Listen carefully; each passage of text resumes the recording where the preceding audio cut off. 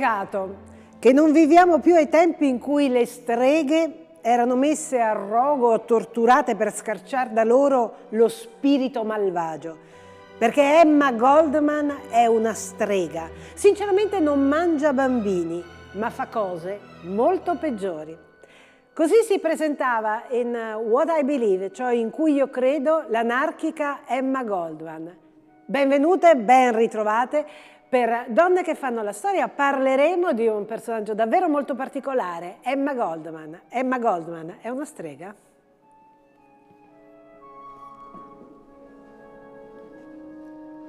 Heavy coat here.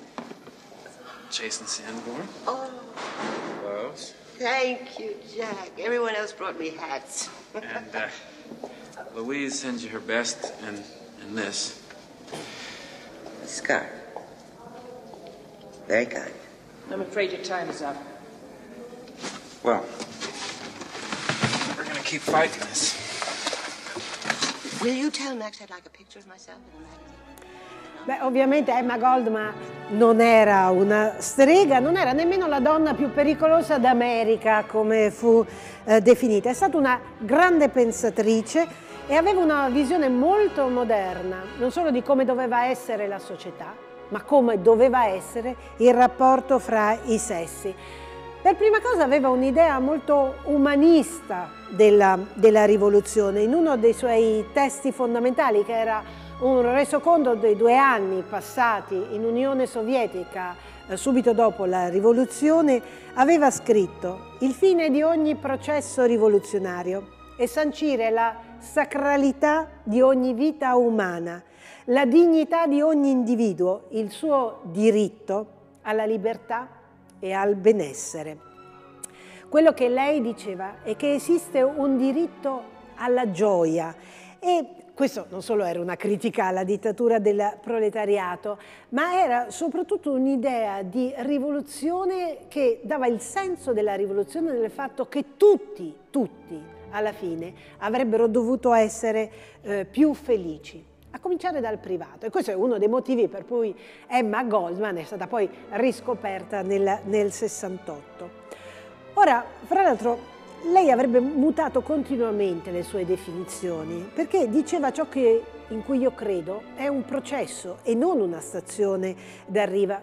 E poi ho imparato con l'esperienza che le idee sono una cosa e la vita è un'altra. E questo realismo l'ha sempre tenuta lontano dall'estremismo di posizioni, dovrei dire anche di molte posizioni maschili che sembravano come volare sulla realtà eh, delle cose. Per lei appunto anche l'anarchia non era un sistema rigido, e questo era anche uno dei motivi per cui poi avversò moltissimo il sistema che si instaurò nell'Unione, eh, nell Sovietica. Di una cosa però Emma era assolutamente convinta, che per ottenere ciò che si vuole, cioè un mondo migliore, bisogna lottare. Diceva, la storia del progresso è scritta col sangue di uomini e donne che hanno osato abbracciare una causa impopolare, come per esempio il diritto degli uomini di colore a possedere il loro corpo e quello delle donne di essere padrone della loro anima. Per tutta la vita, per queste idee, Emma Goldman è stata braccata, cacciata, imprigionata, è dovuta fuggire, è stata continuamente in movimento e sotto minaccia. Dunque, Emma Goldman era nata il 27 giugno del 1869 a Kaunas in, in Lituania, adesso non è più eh, la capitale, è ancora una città bellissima. All'epoca però la Lituania e quindi anche Kaunas faceva parte dell'impero zarista. Suo padre si chiamava Abram Goldman e sua madre Taube Bienovic. Dunque, la mamma Taube era rimasta vedova molto presto con due bambine, El e, um, Lena e Elena, e dato che all'epoca una donna non poteva quasi mai far altro che risposarsi, si era, si era, risposata. Si era risposata senza nessuna voglia, anche perché Abram era un uomo che andava continuamente in fallimento, era un ebreo ortodosso, ma non aveva veramente nessun senso per gli affari. Emma che per tutte le botte che ha ricevuto, per la mancanza di affetto, per il tentativo che fece suo padre di non farla studiare, l'ha odiato praticamente per tutta la vita, solo alla fine quando lo vide vecchio, solo, povero, che era ridotto a fare l'operaio in America, ebbe, ebbe pietà eh, di lui. Comunque, insomma, la mamma sposa Abraham, lei non avrebbe voluto avere nessun figlio, lui avrebbe voluto avere un maschio, nasce invece Emma e dopo nascono anche altri due bambini maschi. Sono troppi in famiglia, la prima delle figlie, Elena, eh, emigra eh, in America, tutta la famiglia si sposta a Pietroburgo. Emma ama studiare, ad Emma è sempre piaciuto studiare, ha un insegnante di tedesco che la vicina alla, alla musica lirica, al teatro, alle, alle letture, alla filosofia. Supera tutti gli esami, ma l'insegnante di religione, che è un sacerdote, non le dà il salvacondotto per continuare gli studi e così a 15 anni Emma Goldman deve lasciare eh, la scuola, è costretta ad andare in fabbrica a fare l'operaia. In più, sempre a 15 anni, viene violentata dal portiere di un albergo che la fa bere. A sorpresa tutti si aspettano che Emma si vergogni di essere stata violentata perché all'epoca le donne si dovevano vergognare di essere state violentate e invece Emma è stupita dal dolore. In realtà proverà dolore nei rapporti sessuali per tutta, per tutta la sua vita e nonostante questo avrà moltissimi amori, sono soprattutto degli amori e nonostante questo crederà soprattutto nella libertà sessuale, nel diritto alla libertà sessuale anche, anche delle donne. Quando anche la sorella Elena si decide a partire per gli Stati Uniti, Emma vuole partire con lei, i genitori non vorrebbero, lei minaccia di gettarsi nel fiume, nella nieva, a questo punto accettano, ma l'America, lo sapete, non è quel paradiso che si diceva per gli immigrati, bisogna lavorare, bisogna lavorare molto sodo, lei va in fabbrica e poi si inventa tutta una serie di lavori, anche perché per sostenere la causa anarchica servono soldi. E lei fa di tutto, dall'aprire un chiostro di gelati a, pensate, una come lei, a tentare di prostituirsi, lì proprio non ci riesce perché non è il, il, suo, il suo mestiere. In più poi si muove tra una città all'altra come una nomade. Eh, nel 1886 succede un fatto gravissimo che viene ricordato come la strage di High Market Street, cioè durante una manifestazione di operai viene lanciata una bomba, muoiono sia operai che poliziotti, ma la colpa ricade sugli anarchici. Vengono condannati a morte otto eh, anarchici che non c'entrano assolutamente niente e sei eh, verranno effettivamente uccisi. In quel momento Emma decide che l'anarchia è la sua, sua strada, ma soprattutto soprattutto quello che la indigna sono le condizioni di vita dei lavoratori. Noi adesso non riusciamo nemmeno a immaginare, ma le fabbriche erano degli inferni e soprattutto la condizione delle donne era particolarmente gravosa perché le donne guadagnavano la metà degli uomini, poi dovevano tornare a casa ed occuparsi della casa e dei bambini. E quindi tutta la vita di Emma Goldman è dedicata al tentativo di migliorare le condizioni dei lavoratori, ma nell'ottica di avere una nuova società, una nuova società in cui appunto tutti, oppressi e oppressori, siano finalmente liberi, perché non esistano più né oppressi né oppressori. Devo dire che all'inizio Emma, proprio per questo, proprio perché vede quante volte la polizia spara eh, sulla, sulla folla, appoggia alcuni attentati che in quel periodo gli anarchici stanno facendo. Poi però capisce che la violenza non è una strada, che ammazzare le persone per quanto possono aver eh, commesso del, de, de, dei crimini terribili come quelli di far sparare appunto sui lavoratori, quella lì non è una strada. E così quando l'accusano di essere dietro l'omicidio di William McKinley, che era il 25 presidente degli Stati Uniti, non ci mette nulla a farsi scagionare. Lei con quell'omicidio non c'entra proprio nulla. Fra l'altro è sempre stata una donna molto molto spiritosa, quindi fra le altre cose ringraziava il governo di averla arrestata tante volte perché dice i periodi in prigione sono stati i migliori della mia vita perché ho potuto leggere, ho potuto riposare, ho potuto conoscere delle persone interessantissime. Ma perché? Perché viene considerata la donna più pericolosa d'America? Mica per questa attività a favore dell'anarchia o dei lavoratori, no, perché crede appunto, come abbiamo già detto, nel libero amore e nella contraccezione. In quello stesso periodo c'è un'altra donna che è un'infermiera, si chiama Margaret Sanger, che sta lottando per la stessa cosa. È un'infermiera perché negli Stati Uniti e in generale nei paesi anglosassoni le donne non possono ancora iscriversi alla facoltà di medicina. È curioso, in Italia sì, ma eh, negli Stati Uniti no. Nel 1916 apre la prima clinica praticamente al mondo per la contraccezione. Come giustamente la Sanger dice se vogliamo evitare l'aborto dobbiamo far sì che le donne possano accedere alla contraccezione e possano scegliere liberamente di diventare madri, ma questo all'epoca è considerato un reato, si finisce in carcere per sostenere queste idee e sia la Sanger sia Emma Goldman per questo motivo entrano e escono dal carcere. Alcune volte Emma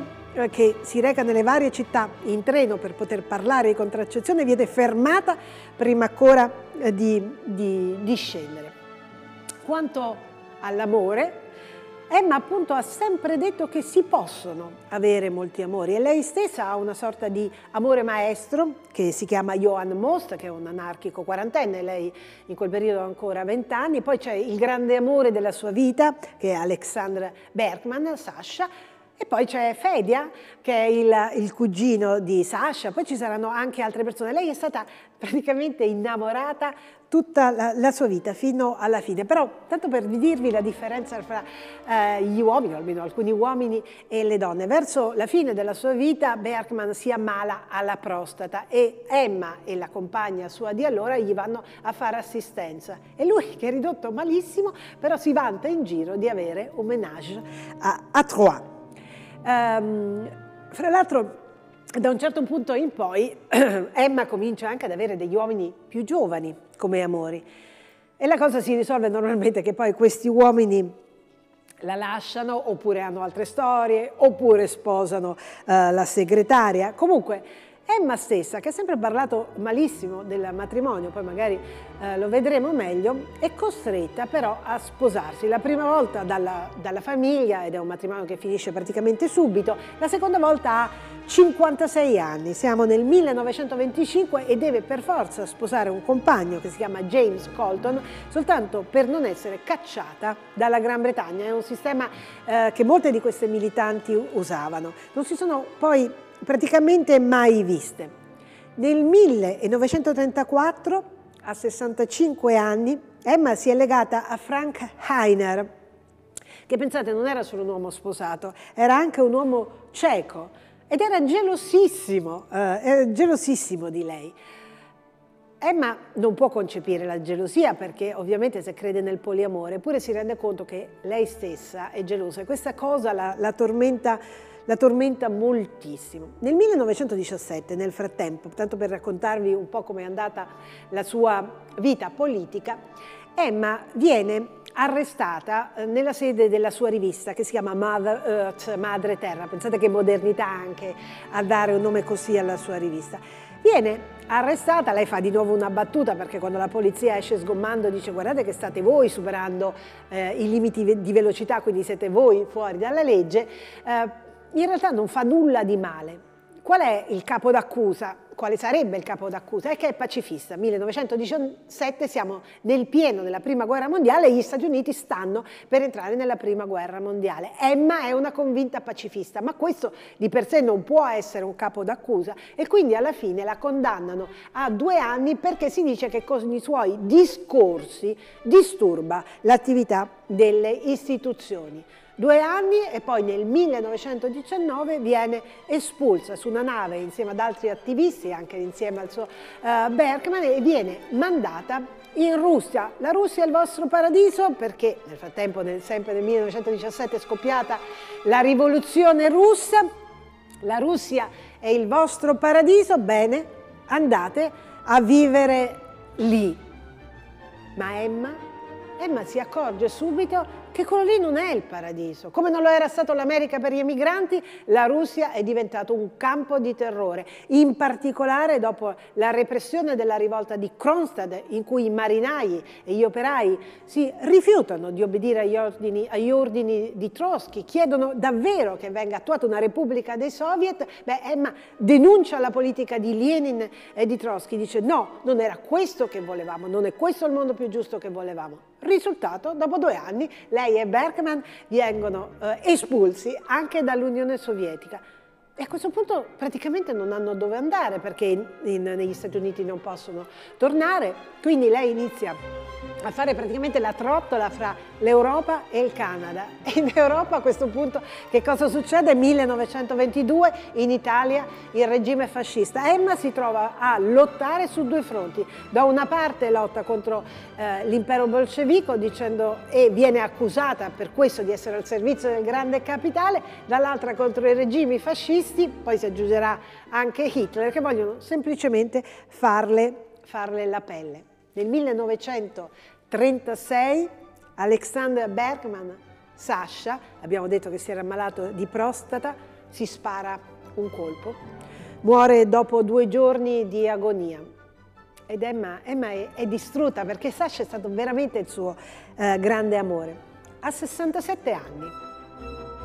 E allora che cosa fa? Beh, allora decide di abbracciare la causa della rivoluzione spagnola, cioè la guerra civile in Spagna nel 1936 si schiera dalla parte degli anarchici che hanno, eh, come dire, resistito, che stanno resistendo in Catalogna, c'è stato un colpo militare di Francisco Franco, la Repubblica è legittima ma è una Repubblica eh, spaccata tra Madrid e il sud della Spagna. Lei si lamenta pure a 67 anni, ma si lamenta accidenti, non posso entrare in combattimento, quello che può fare è raccogliere fondi, può andare in giro a sostenere le ragioni della Repubblica. Però, forse ve lo ricorderete, tre anni dopo, nel 1939, cade la Repubblica e cadono anche le ultime resistenze degli anarchici in Catalogna e in questo c'è anche la complicità eh, di Stalin. Il 27 giugno del 1939 Emma Goldman compie 70 anni. Ha finito di lottare? Eh, ma no che non ha finito, si è battuta prima per Sacco e Vanzetti, adesso si sta battendo per Attilio Bortolotti, che è un anarchico che è stato arrestato in Canada. Riesce a farlo liberare, ma nel gennaio del 1940 viene colta da un ictus.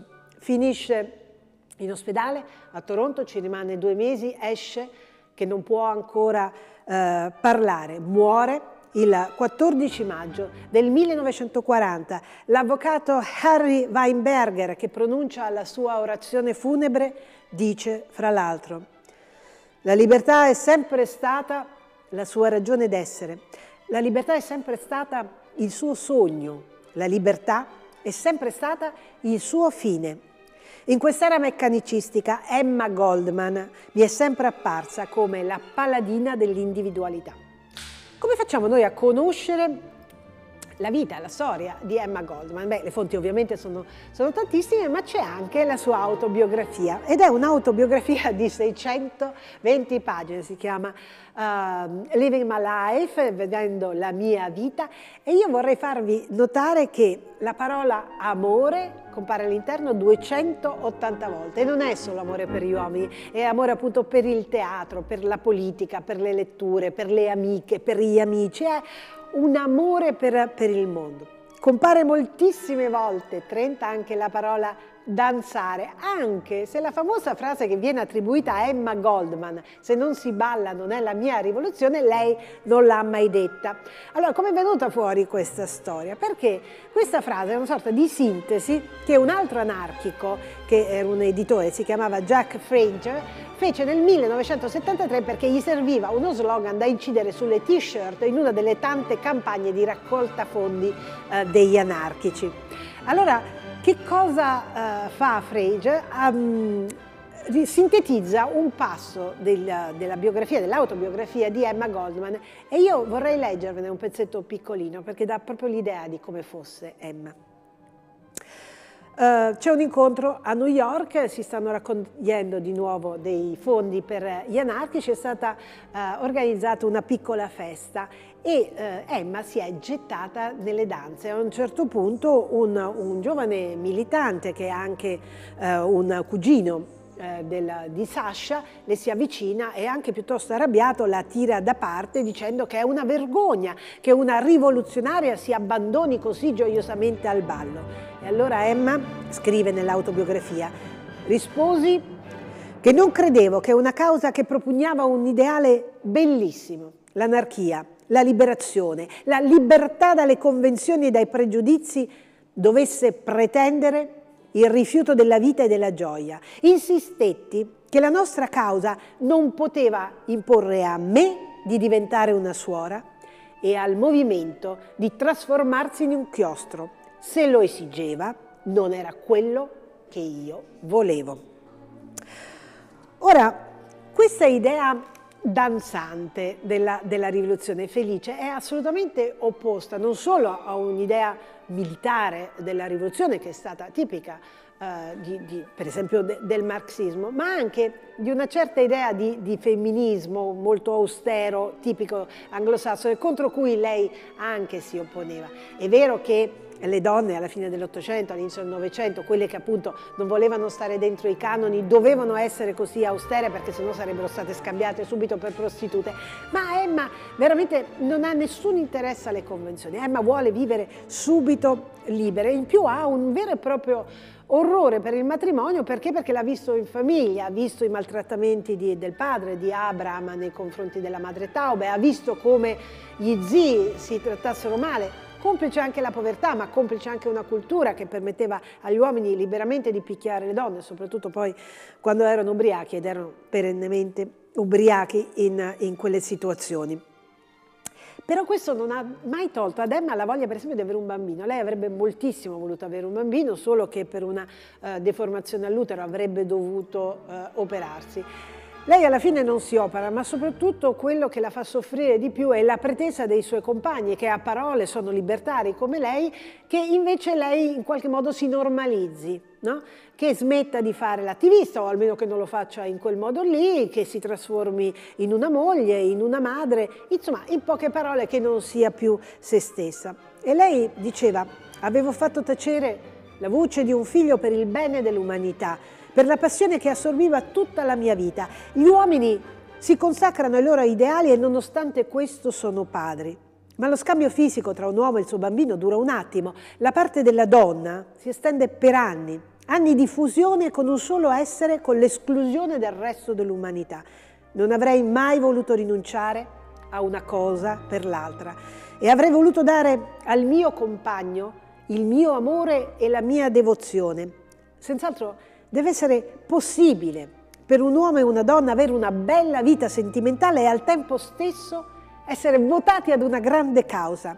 Dobbiamo provarci. Amavo il mio lavoro ed ero in grado di guadagnare in quel momento più che in passato. La gioia di non dover sudare in fabbrica o far dentro e fuori un negozio era grande, ma ancora più grande era la soddisfazione di avere il tempo per leggere e avere un'attività politica. Cioè quello che lei dice, quello che stimavo più di tutto, era la libertà. La libertà di fare il mio lavoro, di darmi spontaneamente e non per dovere o per ordini ricevuti. E dato che appunto molti dei suoi compagni comunque invece pretendevano che lei eh, si piegasse alle loro esigenze, alla fine lei decide, beh, vivrò di morsi di amore ogni tanto. In realtà per una donna non era possibile, cioè i rivoluzionari vivevano così, passando da una donna all'altra, per una donna rivoluzionaria evidentemente il prezzo era, era, molto più alto, però lei specifica anche un'altra cosa, quello che lei chiama morsi d'amore sono veramente morsi d'amore e non solo morsi di sesso, infatti quando uno dei suoi compagni eh, le propone dire, di essere una delle sue tante compagne sessuali, lei dice sì è vero, io avevo avuto molti uomini, ma li avevo amati. Non sarei stata capace di andare con qualcuno solo uh, per delle esigenze fisiche. Io avevo bisogno di provare anche uh, un, un, sentimento. Uh, nella, in un'intervista che le fecero nel 1897 sul Sunday Magazine Post Dispatch, um, le chiesero soprattutto um, che cosa offre l'anarchia alle donne e lei rispose ciò che essa non ha, la libertà e l'uguaglianza. E il punto è che la libertà per le leggi dell'epoca, per quelle che esistevano sul matrimonio, era veramente impossibile all'interno della coppia. E lei che pure, come abbiamo visto, si è sposata due volte, sul matrimonio aveva idee chiarissime. Nel 1910, per esempio, scriveva «Il matrimonio non è che una farsa a cui sottomettersi per il conformismo. Se è vero che alcuni matrimoni sono fondati sull'amore e che a volte l'amore persiste anche nella vita coniugale, la mia tesi è che questo avviene a dispetto del matrimonio e non grazie ad esso. Per converso, è del tutto falso che l'amore derivi dal matrimonio, perché all'epoca una cosa che veniva detta alle ragazze, l'avrebbe detta anche Matilde Serao scrivendo un racconto, è che si pretendeva dalle ragazze che si innamorassero dei mariti dopo averli eh, sposati. Aggiunge Emma, in rare occasioni si sentirà parlare di un caso miracoloso in cui i coniugi si sono innamorati dopo le nozze, ma a un esame più attento si scopre che si tratta di pura e semplice rassegnazione all'ineluttabile. In qualche modo quindi, anzi in maniera esplicita, Emma Goldman paragonava il, il, matrimonio a un contratto economico, a una polizza assicurativa, una polizza però particolarmente esosa e che comportava per le donne la perdita della propria privacy, del rispetto di sé, diceva lei, e della loro stessa vita. Ora, Emma è sola nel sostenere queste, queste teorie? Beh, No, Uh, all'epoca c'è stata un'altra grande rivoluzionaria che aveva una visione simile sia della rivoluzione che dell'amore, che è stata uh, Rosa Luxemburg. Rosa Luxemburg è stata ammazzata durante la Repubblica di, di, Weimar da delle forze paramilitari che appoggiavano il governo nel 1919 e delle idee molto simili a Emma Goldman l'ebbe un'altra anarchica americana che si chiamava Voltairine de Clerc. Volterine, Claire e Emma all'inizio non si sono piaciute molto, anzi ad Emma stava un po' antipatica Volterine, poi cambiò radicalmente idea quando nel 1902 un ragazzo che era stato anarchico sparò a Volterine. Volterine riuscì a salvarsi, sparò tre colpi, ehm, riuscì a salvarsi ma non si riprese mai del tutto, anche perché era talmente povera, non aveva nemmeno da mangiare, per cui una ripresa completa era impossibile.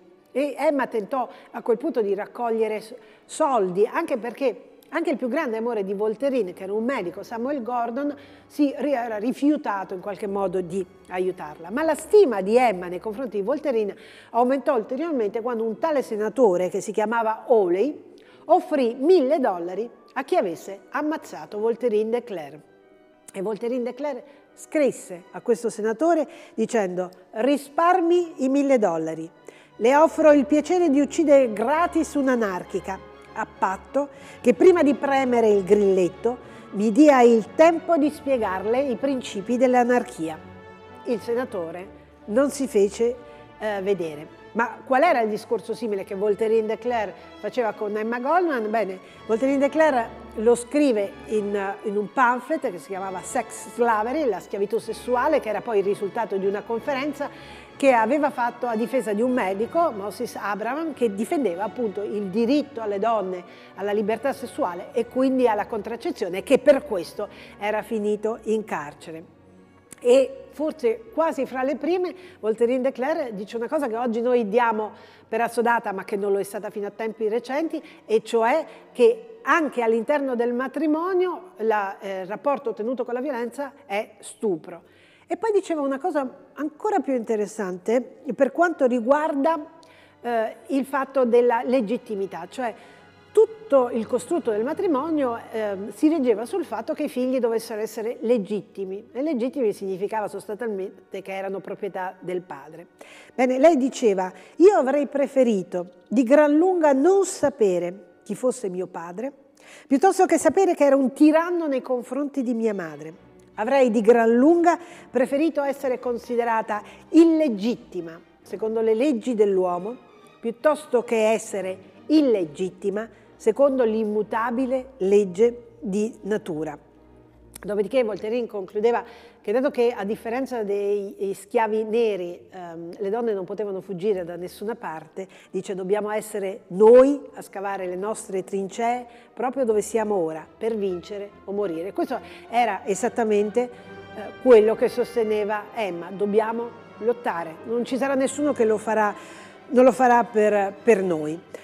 Devo dire che fra l'altro a occuparsi di amore non furono solo le donne all'interno del movimento adarchico, furono anche gli uomini. Enrico Malatesta per esempio scrisse un, testa, un testo, Il problema dell'amore, per lui l'amore era un problema, mentre per Emma Goldman e per Rosa Luxemburg era una fonte, era una fonte di, di, di, gioia. Se ne, occuparono, se ne occuparono anche i futuristi eh, di amore. Perché? Perché Emma era convinta che la liberazione sessuale delle donne sarebbe stata una liberazione per tutta l'umanità. Questo è il suo grande, il grande lascito. E poi soprattutto lei credeva che per arrivare ad un mondo più giusto, beh sì, ci voleva davvero una rivoluzione, ma che proprio il tipo di rivoluzione che avremmo scelto avrebbe plasmato il mondo del futuro. Quindi era importante fare una rivoluzione che veramente rendesse tutti più liberi e più felici. Sulla sua tomba è incisa una delle sue frasi più celebri. Non è la libertà che deve scendere verso il popolo, è il popolo che deve levarsi verso la libertà. E poi c'è un'altra cosa che a me colpisce molto, che compare nella sua biografia e che non ho trovato in nessuna biografia o quasi di un rivoluzionario uomo, è la parola tenerezza. La parola tenerezza torna 16 volte nella sua biografia. Quando parla di un suo compagno, Emma confessa di aver provato un'infinita tenerezza per il grande uomo bambino steso al mio fianco. Seduto lì, ricordavo un albero robusto piegato dai venti e dalla tempesta, che faceva un ultimo sforzo per tendersi verso il sole. Tutto per la causa, mi aveva detto così spesso Sasha. Il lottatore al mio fianco aveva già dato tutto alla causa, ma chi aveva dato tutto per lui? Era affamato di affetto e di comprensione e io gli avrei dato entrambe le cose. Per questa straordinaria umanità Emma Goldman è stata la donna più pericolosa d'America. Donne che fanno la storia. Grazie, appuntamento alla prossima puntata.